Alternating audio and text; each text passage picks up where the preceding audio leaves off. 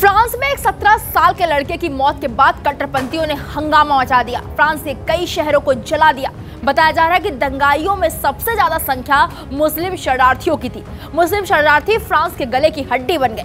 France ने अपने फ़ायदे के लिए इन्हें अपने घर में जगह दी, लेकिन ये लोग फ्रांस के लिए मुसीबत बन गए। तेरह जुलाई को पीएम मोदी फ्रांस दौरे पर जाने वाले उससे पहले ही वहाँ पर कट्टरपंथियों ने फ्रांस को तहस नहस कर दिया। अब सवाल यह उठता है कि क्या फ्रांस पर मुसलमानों का कब्जा होगा? यह सवाल इसलिए क्योंकि एक वीडियो वायरल हो रहा है और उस वीडियो को लेकर भारत को भी चेतावनी दी गई है। इस मुद्दे पर आगे बात करते हैं, लेकिन पहले एक मौलाना के बयान को आपको सुनवाते हैं। हाल ही में एक मौलाना का वीडियो वायरल हुआ था, जिसे हमने आपको वीके न्यूज़ पर दिखाया था। मौलाना फलस्तीन का बताया जा रहा था। मौलाना का ये वीडियो बेहद डराने वाला है।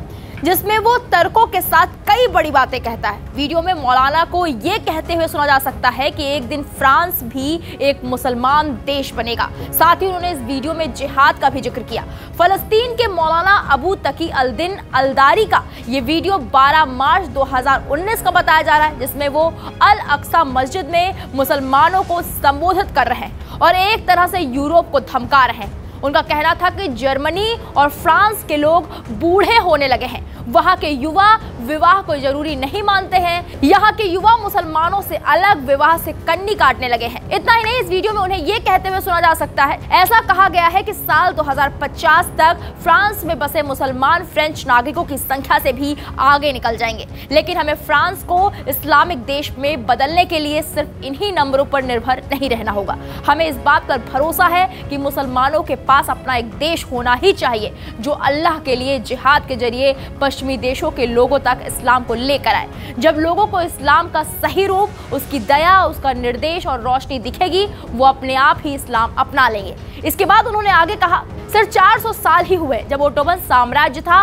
और मुसलमानों ने ऑस्ट्रिया और पोलैंड पर फतह हासिल की थी। इस्लामिक राज वियना की दीवारों तक पहुँच गया था, जो ऑस्ट्रिया की राजधानी है। जिसके बाद यहाँ से अजान के लिए आवाज़ लगाई गई। सोवियत संघ के सभी पूर्व देश और काक्सेस भी इस्लामिक शासन के तहत थे। फिर और क्या चाहिए? सन 1644 तक चीन पर भी मुस्लिम मंगोलों का राज था। सन 1526 में हंगरी को जीता और उसके बाद 1586 तक भारत में भी इस्लाम राज था। अब बात करते हैं उस वीडियो की जिसे लेकर भारत को चेतावनी मिली है। दरअसल, इस वीडियो को मेजर सुरेंद्र पुनिया ने शेयर किया है। जानकारी के लिए बता दें कि मेजर सुरेंद्र पुनिया विशिष्ट सेवा मेडल एक अंतर्राष्ट्रीय पुरस्कार विजेता, खिलाड़ी, लिमका बुक रिकॉर्ड धारक, चिकित्सक, भारतीय सेना के पूर्व विशेष बल अधिकारी और सोल्जियोथॉन मैराथन के संस्थापक हैं। वो पहले भारतीय एथलीट हैं जिन्होंने पावर लिफ्टिंग और एथलेटिक्स स्पर्धाओं में लगातार चार बार विश्व चैंपियनशिप में पदक जीते हैं। वो भाजपा नेता भी हैं, पहले आम आदमी पार्टी में थे और बाद में उन्होंने भाजपा का दामन थाम लिया।